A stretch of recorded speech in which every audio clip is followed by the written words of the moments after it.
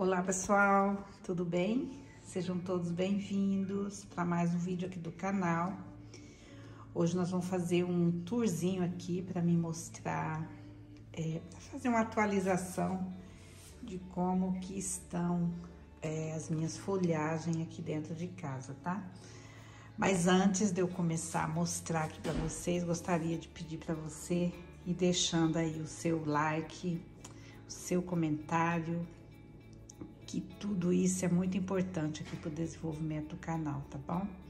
Vamos lá para o nosso vídeo. Então, uma novidade aqui é a minha zamiocuca preta, que saiu uma linda folha, né? Uma linda haste aqui para uma folha nova, muito bonita. Ela fica bem verdinha, né, gente? Quando quando ela é jo... quando ela é nova. E depois ela vai começando a escurecer aqui, ó. Vai começando a escurecer.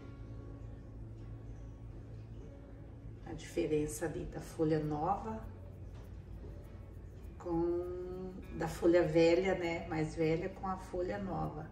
Ela começa a escurecer ali bem na pontinha das folhas, ó, bem no biquinho ali, e começa a escurecer, ó. Já tá começando a escurecer.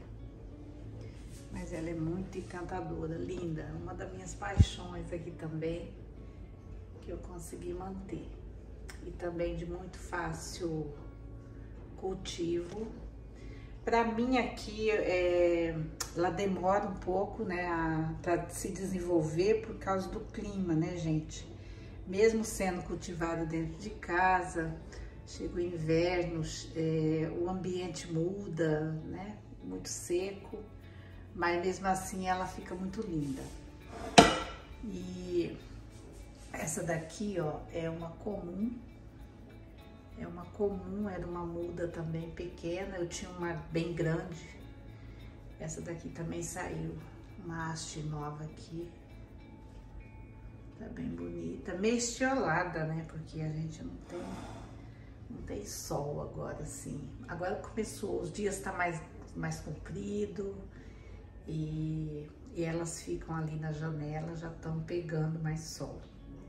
Então, era para mostrar para vocês a novidade aqui da minha zamiocuca negra, como tá lindíssima. Muito linda. Mais uma plantinha que eu quero que vocês... É uma cingônio, gente. Essa é uma cingônio. Muito bonita também. Eu fiquei até com medo de perder ela, porque eu não cuidei muito bem das plantinhas. Ela tá subindo por aqui, ó. Tá subindo aqui. Aí aqui eu gosto muito de, por exemplo, as alocáceas, ela tem um certo período que elas entram em dormência. Então eu acostumo guardar as batatinhas, os bulbuzinhos delas, né?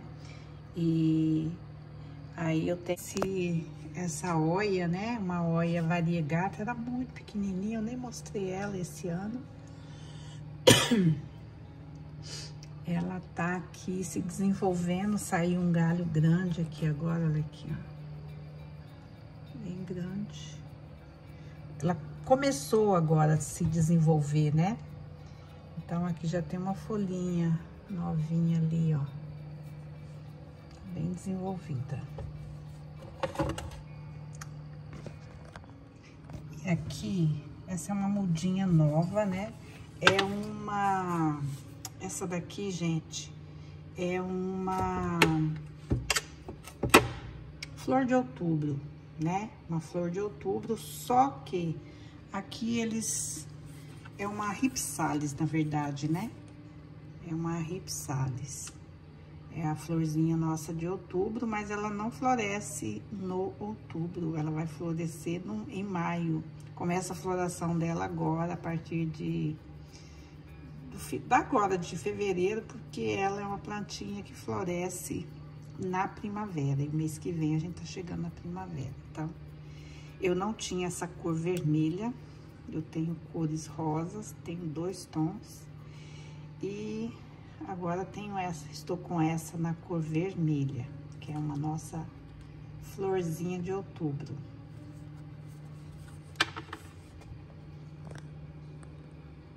Ali eu tenho aquele cacto também, que eu mantenho ele aqui na meia sombra. Eu manti ele aqui no inverno, né?